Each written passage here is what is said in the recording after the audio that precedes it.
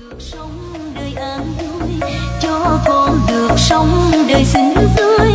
quan âm cứu khổ quan âm cứu đang đời con ra